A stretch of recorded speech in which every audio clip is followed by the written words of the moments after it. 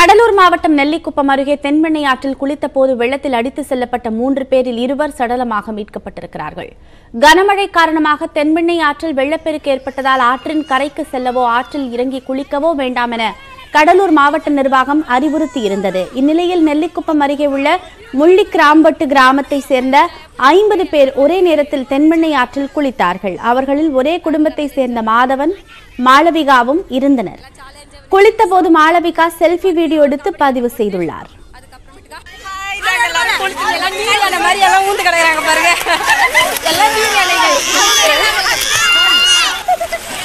வந்து செம்ம என்ஜாயா போயிட்டு இருக்கு எல்லாரும் வந்து குளிச்சுட்டு இருக்காங்க எல்லாம் ஜாலியாக என்ஜாய் பண்ணியாச்சு. இப்போ சாப்பிட்டுட்டு மறுபடியும் ஒரு கபடி போட்டு அதுக்கப்புறமேட்டுக்கா இன்னொரு நீச்சல்.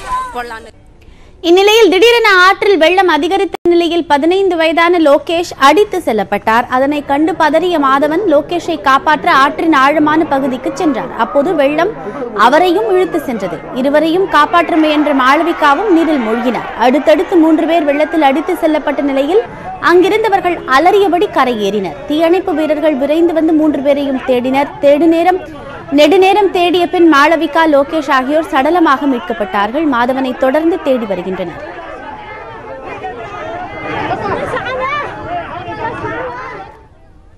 ஜவ்வாது மலையில் கொட்டி தீர்த்த கனமழையால் மலை கிராமங்கள் வெள்ளக்காடாக காட்சியளிக்கின்றன.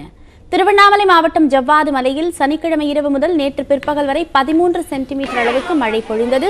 இதனால் மலையில் பல்வேறு இடங்களில் வெள்ளப்பெருக்கு ஏற்பட்டதால் மக்களின் இயல்பு வாழ்க்கை பாதிக்கப்பட்டது. பீமன் நீர்வீழ்ச்சி உள்ளிட்ட பல்வேறு கிளை ஆறுகளில் வெள்ளப்பெருக்கு ஏற்பட்டது. விவசாய பயிர்கள் முழுமையாக தண்ணீரில் மூழ்கியுள்ளன.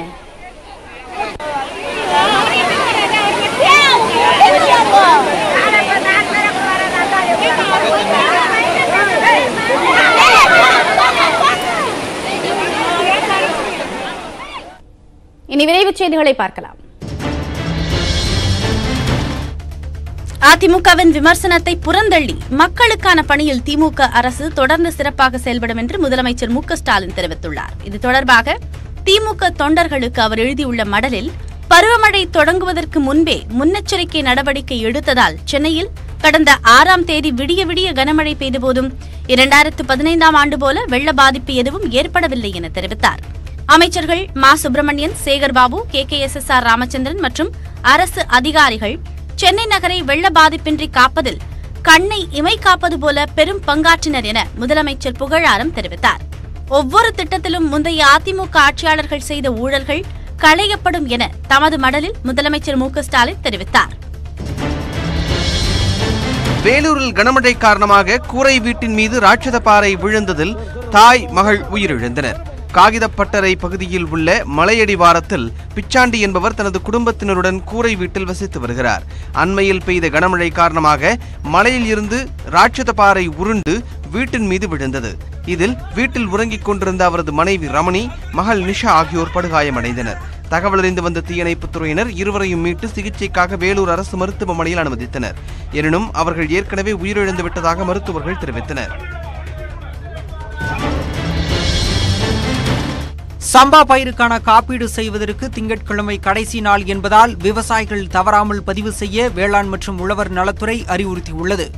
பிரதமரின் காப்பீட்டுத் திட்டத்தின் கீழ் இரண்டாயிரத்தி இருபத்தி ஒன்று இருபத்தி இரண்டாம் ஆண்டுக்கான சம்பா பருவ பயிர்களுக்கு கடந்த செப்டம்பர் பதினைந்து முதல் இதுவரை பத்து லட்சம் பேர் காப்பீடு செய்துள்ளனர்.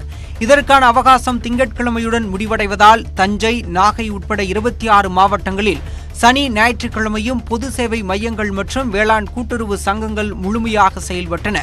இந்நிலையில் சம்பா நெற்பயிருக்கு காப்பீடு செய்யாதவர்கள் திங்கட்கிழமைக்குள் வேளாண்மை கடன் கூட்டுறவு சங்கங்களை அணுகி பதிவு செய்ய அரசு அறிவுறுத்தியுள்ளது. விழுப்புரம் அருகே தென்பெண்ணை ஆற்றின் குறுக்கே கட்டப்பட்டு சேதமடைந்த தடுப்பணையை வெடிவைத்து தகர்க்கும் முயற்சி தோல்வியில் முடிந்தது. தளவானூரில் உள்ள தென்பெண்ணை ஆற்றின் குறுக்கே கடந்த அதிமுக ஆட்சியில் இருபத்தைந்து கோடி ரூபாயில் தடுப்பணை கட்டப்பட்டது. கனமழை காரணமாக தடுப்பணையில் உடைப்பு ஏற்பட்டு தண்ணீர் வெளியேறி வருகிறது. தடுப்பணை முற்றிலும் சேதமடைந்ததால் அதனை வெடிவைத்து அகற்ற மாவட்ட நிர்வாகம் முடிவு செய்தது. அதன்படி நேற்று ஜெலட்டின் குச்சி உள்ளிட்டவை மூலம் வெடிவைத்து அணையை தகர்க்க முயற்சி மேற்கொள்ளப்பட்டது. ஆனால் வெடி வெடித்தும் அணை உடையவில்லை. இதனால் ஐந்து மணி நேரம் மேற்கொண்ட முயற்சி தோல்வியில் முடிந்தது.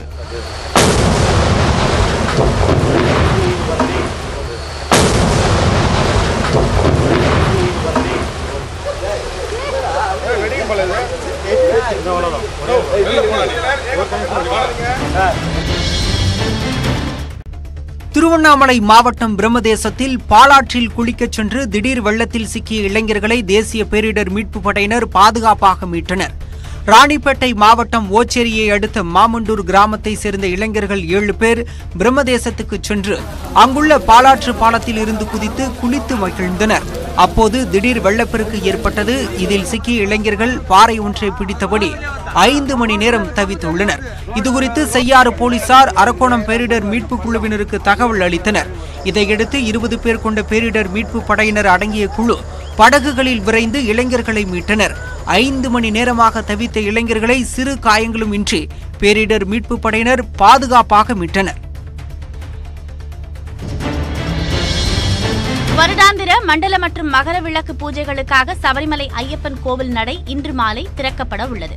கடந்த ஆண்டு கொரோனா காரணமாக குறைவான அளவே பக்தர்கள் அனுமதிக்கப்பட்டார்கள். இந்த சூழலில் இந்த ஆண்டு ஆன்லைனில் பதிவு அடிப்படையில் தினசரி முப்பதாயிரம் பக்தர்களுக்கு அனுமதி அளிக்கப்பட்டுள்ளது.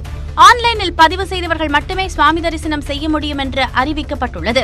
இன்று மாலை நடை மட்டும் திறக்கப்படுகிறது. மண்டல கால பூஜைகள் செவ்வாய்க்கிழமை முதல் நடைபெற உள்ளன. இன்று முதல் கோவில் நாற்பத்தோரு நாட்கள் திறக்கப்பட்டிருக்கும். கோவிலினுள் வருவோர் இரண்டு டோஸ் தடுப்பூசி போட்டதற்கான சான்றிதழ் அல்லது கொரோனா நெகட்டிவ் சான்றிதழ் கட்டாயமாக வைத்திருக்க வேண்டும். பம்பை நதியில் அதிக அளவில் தண்ணீர் செல்வதால் ஆற்றில் குளிக்க அனுமதி கிடையாது. சன்னிதானத்தில் தங்க பக்தர்களுக்கு இந்த ஆண்டு அனுமதி அளிக்கப்படவில்லை. மத்திய பிரதேசத்தில் எருமை மாடு பால் கறக்க தம்மை அனுமதிக்கவில்லை என்று கூறி கிராம இளைஞர் ஒருவர் போலீசில் விந்தையான புகார் அளித்து அதிர வைத்தார். பிந்த் மாவட்டம் நயகோன் என்ற கிராமத்தை சேர்ந்த பாபுராம் அங்குள்ள போலீசில் சனிக்கிழமை புகார் ஒன்றை அளித்தார்.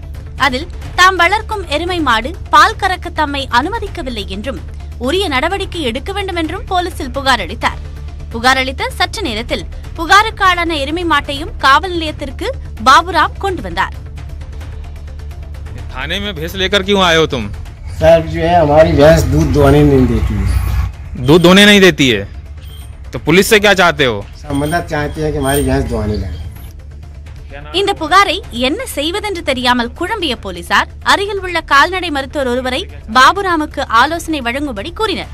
மீண்டும் இதேபோல் பிரச்சனை வந்தால் உதவ தயாராக உள்ளதாகவும் போலீசார் நம்பிக்கையான வார்த்தைகளை கூறி பாபுராமை அனுப்பி வைத்தனர். வெனிசுலாவில் உலக சாதனை முயற்சியாக அதிக அளவிலான இசைக்கலைஞர்கள் கலந்து கொண்ட உலகின் மிகப்பெரிய இசை நிகழ்ச்சி நடைபெற்றது. பனிரெண்டு வயது முதல் எழுபத்தி ஏழு வயது வரையிலான பனிரெண்டாயிரம் இசைக்கலைஞர்கள் இந்த நிகழ்ச்சியில் கலந்து கொண்டு இசைக்கருவிகளை வாசித்தனர். நிகழ்வில் பங்கேற்றவர்கள் வெள்ளை நிற சட்டையும் கருப்பு நிற பேண்டும் சீருடை போல அணிந்திருந்தனர். அவரவருக்கு ஒரு எண் ஒதுக்கப்பட்டு அதற்குரிய இருக்கையில் அமர்ந்து வாசிக்கும்படி ஏற்பாடுகள் செய்யப்பட்டிருந்தன. இந்த இசை நிகழ்ச்சி உலக சாதனையா என்பதை பத்து நாட்களில் ஆய்வு செய்து கின்னஸ் நிறுவனம் அறிவிக்கும் என கூறப்பட்டுள்ளது.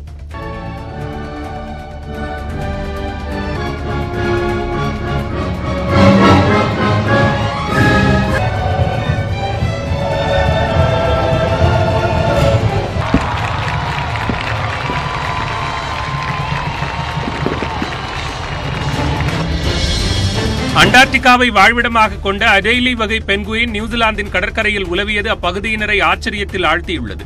கிட்டத்தட்ட மூன்றாயிரம் கிலோமீட்டர் தூரம் பயணித்து இந்த பென்குயின் நியூசிலாந்துக்கு வந்துள்ளது. மிகவும் சோர்வாக காணப்பட்ட இதனை மீட்ட மீட்பு படையினர் உரிய சிகிச்சை அளித்தனர். பின்னர் காந்த விரிகுடா பகுதியில் பென்குயின் விடுவிக்கப்பட்டது.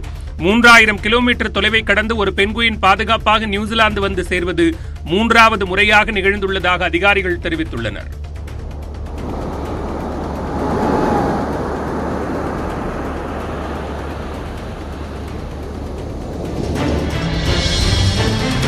பக்கவாதத்தை முறியடிக்கும் சிகிச்சையை அமெரிக்க விஞ்ஞானிகள் வெற்றிகரமாக பரிசோதித்துள்ளனர். எலிகளுக்கு நடத்தப்பட்ட இந்த பரிசோதனையில் புதிய மருந்து வேலை செய்வது உறுதியாகியுள்ளது. முதுகுத்தண்டில் செய்யப்படும் இந்த சிகிச்சையால் சேதமடைந்த நரம்புகள் மீண்டும் உருவாக்கப்படுகின்றன. தற்போது எலிகளில் வெற்றியடைந்துள்ள இந்த பரிசோதனையை மனிதர்கள் மத்தியில் தொடங்க இன்னும் இரண்டு ஆண்டுகள் ஆகும் என்கின்றனர் விஞ்ஞானிகள்.